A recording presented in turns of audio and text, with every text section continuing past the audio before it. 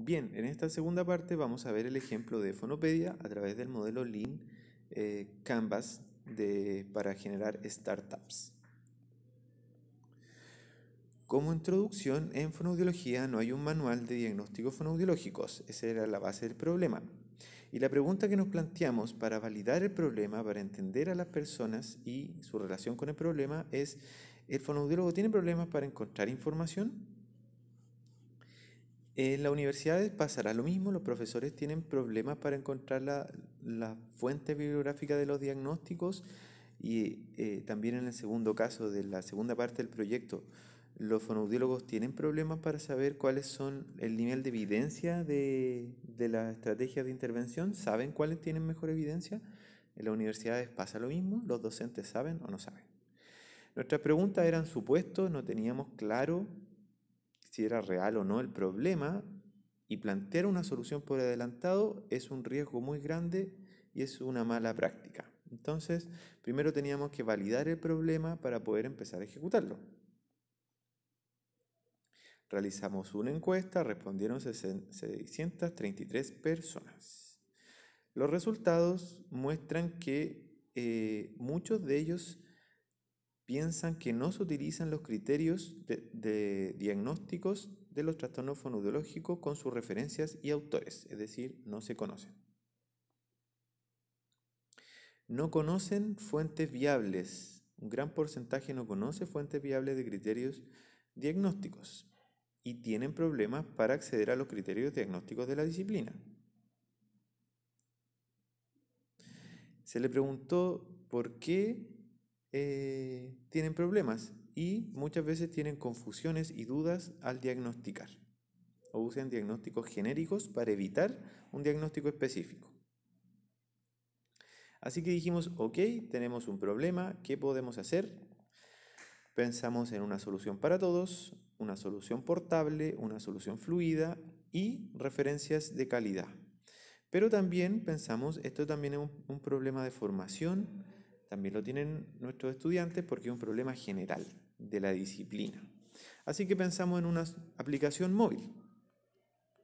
Generamos un diseño inicial, lo presentamos a varios colegas y estudiantes en el año 2014 presentamos esta, este prototipo y ellos fueron dando sus distintas opiniones de qué les parecía, si opinaban que estaba bien o podía o no eh, solucionar el problema. Después de 10 eh, meses de trabajo, se trabajó con un equipo para producir distintos diagnósticos, un equipo de expertos, y se lanzó la versión beta de la app, de la primera app, en enero del 2015. Aquí están los pantallazos de la primera aplicación móvil que se produjo. Se realizó un lanzamiento con una proyección a través de redes sociales y tuvo una muy buena acogida con distintas imágenes de promoción como esta. Y tuvo una excelente respuesta en las redes sociales con más de mil descargas. Y en esa semana Fonopedia llegó al número uno de las aplicaciones más descargadas en el área de salud, así que tuvo muy buen impacto. En la primera instancia también, eh, la primera instancia educativa se ha usado eh, la aplicación en el ramo de introducción a la fonoaudiología. Aquí vemos estudiantes usando la aplicación. ¿Y cómo se propone en el link Canvas esta, este emprendimiento? ¿Cuál es, eh, cómo se rellena esta, este papelógrafo con la información de Fonopedia? Aquí veamos cómo se eh, realizó. El problema eh, fue validado y descrito por la encuesta, así que el problema existe. Nuestra propuesta de valor única es que no existe un manual de diagnósticos y la app eh, va a poner este manual de diagnósticos disponible en cualquier lugar en el celular. La ventaja es que no hay competencia, no hay ningún emprendimiento de este estilo y el segmento de clientes eran los fonoaudiólogos y los estudiantes de fonoaudiología. Los canales eran a través de redes sociales eh, y la solución que se optó fue una aplicación.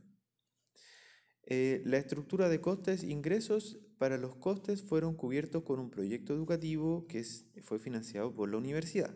Y el flujo de ingresos no tiene, porque esto no es un proyecto con fines de lucro, así que no tiene una propuesta de ingresos. La aplicación es gratis, como ustedes saben, y abierta al público.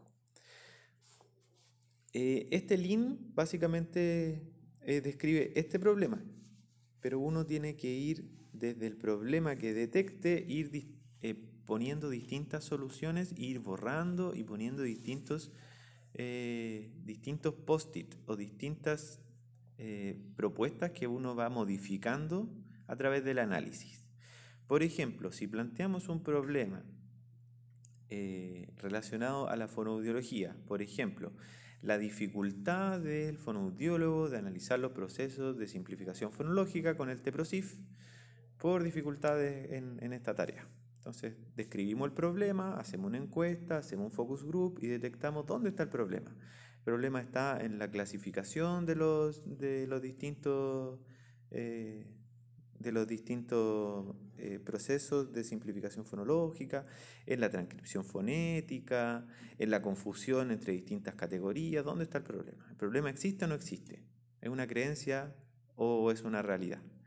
Después, cuando ya tenemos el problema, podemos empezar a, a lanzar distintas ideas eh, de solución y las soluciones las ponemos en pequeños prototipos. Por ejemplo, una solución podría ser un, manual con millones de ejemplos de las posibles respuestas y con los procesos ya listos. Por ejemplo, ya armaditos, listos. Entonces lo busco en un catálogo y digo, ah, lo dijo así, por lo tanto tiene esos procesos. No sé.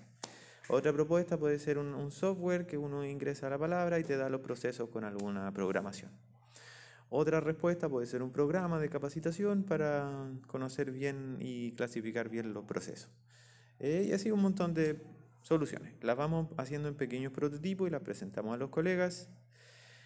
Y a través de la respuesta de, de los colegas podemos saber si es viable o no realizar esta idea por su propuesta de valor única. Por ejemplo, cursos. Imaginemos que no hay, no hay cursos sobre el tema. O si hay cursos, ¿Qué plantea este nuevo curso? Supongamos que una aplicación móvil, no hay aplicaciones móviles sobre el tema. Entonces, ¿se gana o no tiempo con la aplicación móvil?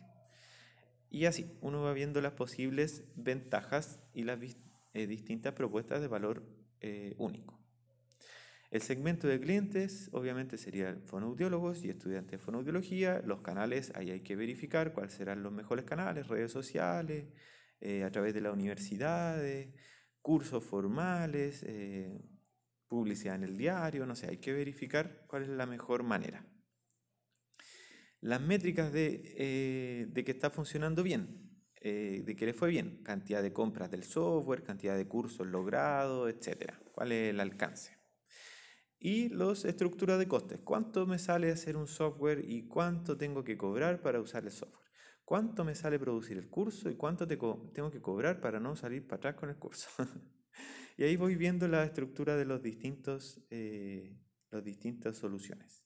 Pero lo importante de este, eh, de este modelo es que uno tiene que, eh, si tiene una solución, la tiene que prototipar y la tiene que poner a prueba y si va a fallar, si le va a ir mal con la idea, porque la idea no estaba bien hecha, la idea es que no falle caro, que le salga barato el fallo y no tener que eh, perder un montón de ingresos o postular a un proyecto para después fracasar. Así que es súper importante hacer pruebas y testeos previos.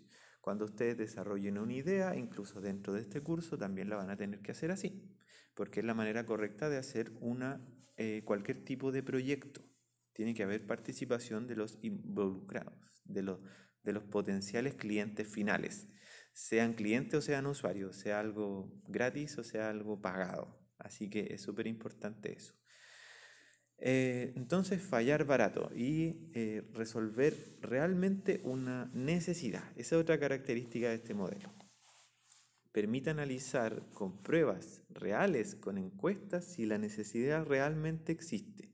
Muchos emprendimientos parten de la idea de que una necesidad existe porque a la persona que hizo la empresa le parece que eso es una necesidad, pero la necesidad realmente existe o, no existe, o es potencialmente eh, una necesidad. Entonces eso hay que testearlo, hay que analizar a, las personas, sus conductas, sus potenciales, eh, la potencial utilización del producto, entre otras cosas. Así que eso es muy importante de este modelo y es lo que le da la fluidez y la rapidez a este tipo de, eh, de modelos que permiten probar rápido y fácil los distintos emprendimientos. Y es una de las maneras de, partir con un proyecto y de testearlo. Otras maneras de, de testear un, proyecto es a través del eh, design thinking o diseño del pensamiento, si se puede traducir así desde el inglés. Y es otra manera que funciona similar. Uno hace un pequeño experimento rápido desde una idea o de un problema y prototipa una solución la solución la pone a prueba y, con esa pequeña solución de prototipo va sacando un nuevo estudio y va verificando cuáles son los pros, los contras, los errores, las ganancias. Y si el producto requiere ajuste, vuelve a hacer ajuste y lo vuelve a poner a prueba. Entonces consiste en un modelo científico o científico inicial de prototipo, ensayo, error, prototipo, ensayo, error. Y probar barato y, no equivocarse eh, poniendo todas las fichas en, una empresa o en un proyecto eh, sin saber si va a funcionar o no. Así que es súper importante.